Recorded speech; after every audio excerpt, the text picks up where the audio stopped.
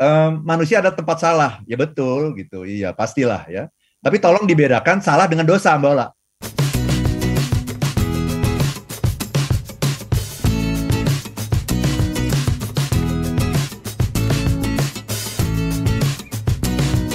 Smart listener dan sahabat yang bergabung, kita coba berkunjung ke uh, YouTube ya yang sudah bergabung di kesempatan pagi ini. Mudah-mudahan Anda bisa tetap dengan clear mendengarkan suara kami ya.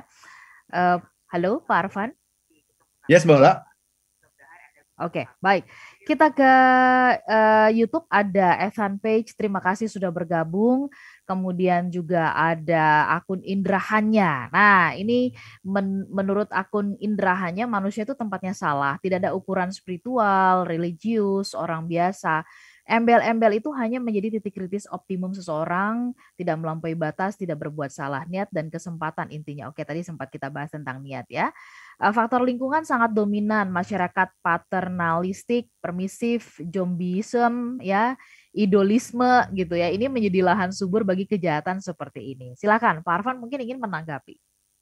Ya, terima kasih Mbak Ola ya. Sebelum saya menanggapi, saya juga ingin mengajak teman-teman semua yang ingin uh, inspirasi mengenai spiritualitas gitu ya uh, dan uh, memberikan semangat kepada teman-teman untuk memasuki tahun 2022 ya, menciptakan happiness dalam tim Anda, happiness at work silakan teman-teman bisa menghubungi saya di 0812 12345 949. 0812 12345 949 ya. Karena saya sudah pernah membantu lebih dari 400 perusahaan di Indonesia untuk menciptakan happiness at work. Nah, siapa tahu ini bagus buat kick off meeting atau rapim atau rapimnas nanti di tahun 2022 gitu, Mbak Ola ya. ya. Okay. Nah, um, manusia ada tempat salah, ya betul gitu, iya pastilah ya. Tapi tolong dibedakan salah dengan dosa, Mbak Ola. Oke. Apa bedanya Mbak Ola? Salah dengan dosa?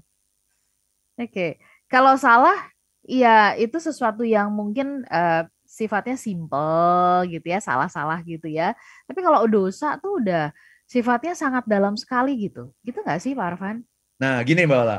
Apa beda salah dengan dosa? Uh-huh. Um, kalau saya memeluk seorang wanita gitu dari belakang gitu, uh-uh ternyata saya kaget. Oh, bukan itu istri saya. saya gitu. itu salah apa dosa tuh? Salah. Salah. Iya. itu bukan dosa. Jadi jangan jangan jangan Anda menyamakan salah dengan dosa, teman-teman ya. Salah itu adalah ketika kita melakukan kesalahan karena kita tidak tahu. Mm -mm.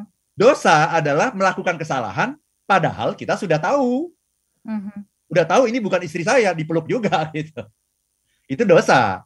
Ya, jadi beda beda beda sekali salah dan dosa itu. Salah itu karena belum tahu. Dosa itu kesalahan karena sudah tahu, padahal sudah tahu. Nah, ketika kita bicara kenapa orang religius melakukan perbuatan jahat, itu yang namanya dosa. Karena dia religius, dia sudah tahu. Dia tahu ajaran agama, dia tahu kitab suci, dia tahu firman Tuhan gitu. Beda dengan kalau kita mengatakan kenapa orang berbuat jahat bisa saja Mbak Ola orang berbuat jahat karena dia belum tahu. Karena dia memang tidak pernah sholat, nggak pernah ke gereja, dia belum tahu kalau oh oh ini jahat toh, oh ini nggak boleh toh gitu. Misalnya begitu. Misalnya dia melakukan plagiat gitu ya, me, apa, me, mengambil karya orang lain kemudian oh ini salah ya, oh ini nggak boleh ya. Nah, dia belum tahu gitu. Jadi bukan kalau orang religius itu pasti dosa, pasti dosa. Kenapa? Dia udah tahu masih melakukan, bahkan dia ahlinya gitu. Itu Mbak Ola. Mm -mm. Itu bedanya salah dengan dosa. Jadi nggak sama itu salah dengan dengan dosa. Manusia memang tempat tempat kesalahan setuju. Tapi ketika kita kesalahan itu ketika kita belum tahu. Nah, kalau udah religius dan berarti sudah tahu gitu ya. dari mulutnya setiap hari ya, itu dosa, itu bukan salah itu. Karena sebenarnya sudah tahu gitu ya Pak Arfan ya. Oke. Okay.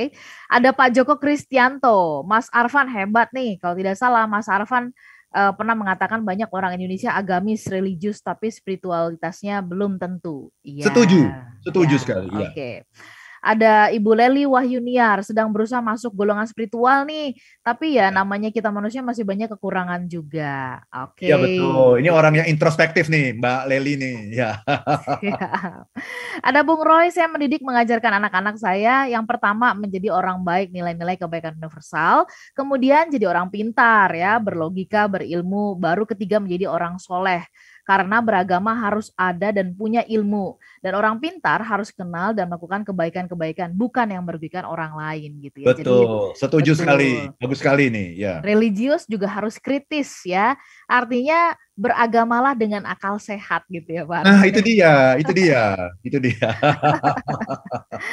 Oke ada uh, Bung Karmoses, Pak Arfan mungkin yang mesti dibedakan antara oknum dan individu atau ajaran karena semua tergantung kepada edukasi di lingkungan pendidikan atau keluarga yang bersumber pada kebenaran dan kebaikan dari keyakinan yang dianut.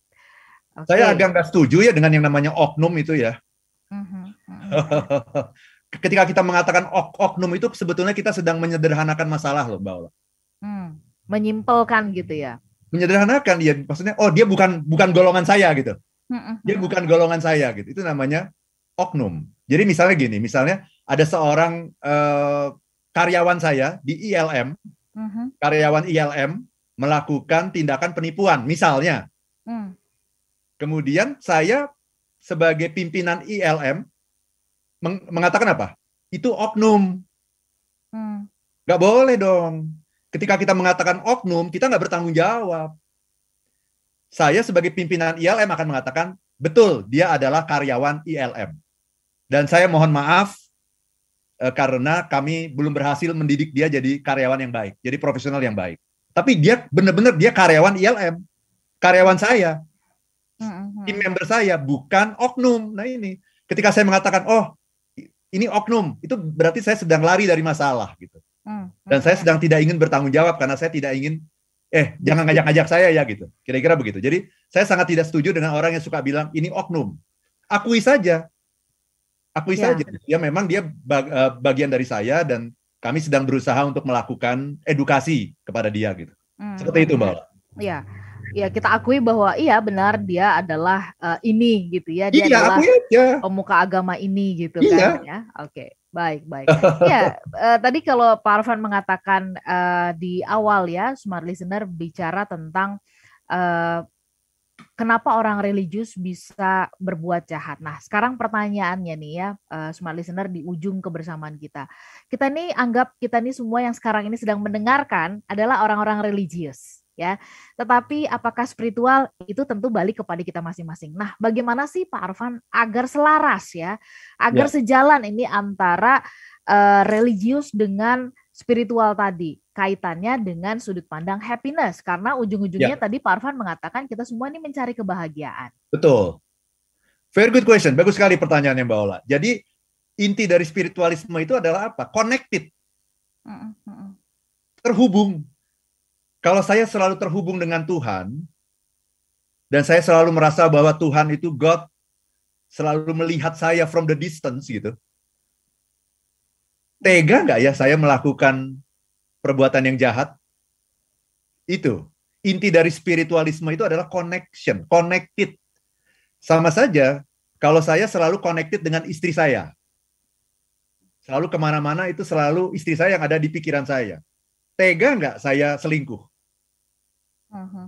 Nggak akan tega, nggak akan berani. Karena istri saya selalu ada dalam pikiran saya.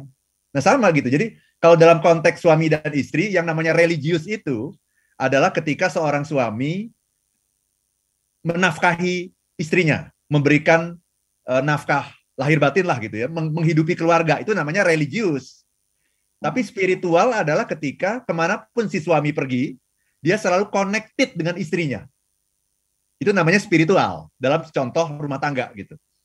Nah kalau dalam contoh dengan Tuhan, religius itu adalah ketika kita menjalankan amal ibadah semaksimal mungkin. Tata cara, ritualisme itu ya, ritual-ritual itu. Itu namanya uh, religius tadi. Nah, tapi apakah kita membawa Tuhan dalam keseharian kita? Apakah ketika kita pergi ke mana-mana itu Tuhan selalu ada dalam hati kita, dalam pikiran kita? Itu namanya spiritualisme. Jadi inti dari spiritual itu adalah connected, Mbak. Kita harus selalu connect gitu. Or, orang yang uh, baik itu adalah orang yang connect gitu. Karena ketika kita connect, kalau istri saya ada di sana, bisa nggak saya selingkuh? Kalau dia ngeliatin saya, nggak bisa dong. Nah sama, kalau Tuhan itu ada di sana ngeliatin saya gitu, from the distance, bisa nggak saya melakukan perbuatan jahat? Ya nggak bisa dong, udah pasti nggak bisa gitu. Itu udah sebuah sistem yang embedded dalam diri kita gitu. Itulah yang namanya spiritualisme, Mbak Ola. Jadi jangan berhenti di religius gitu ya. Religius itu ya bagus kalau dasarnya spiritualisme. Tapi ada banyak sekali orang yang religius dasarnya bukan spiritual. Uh-huh, uh-huh, uh-huh. Tapi non spiritual. Apa itu non spiritual? Kenikmatan duniawi. Ya. Supaya gampang dipercaya orang kan. Nah, makanya orang-orang yang muncul di persidangan KPK itu semuanya tahu menggunakan simbol uh, keagamaan gitu. Simbol keagamaan. Atau ya. pakai hijab gitu. Kenapa? Kok mendadak pakai hijab? Supaya orang percaya gitu. Karena dia tahu yang namanya orang yang religius itu akan langsung mendapatkan kepercayaan secara instan dari orang lain. Itu Mbak Ola. Mm Oke. Okay. Jadi aman dia mau ngapain aja aman gitu karena udah dipercaya kan gitu. Hmm. Berarti kita harus berhati-hati di area ini ya ketika Betul. kita sudah mendapatkan kepercayaan ini justru menjadi berat ya tantangannya adalah ini harus senada nih antara um, kata-kata juga plus dengan perbuatan ya Pak Arfan ya. Betul sekali Mbak Ola ya.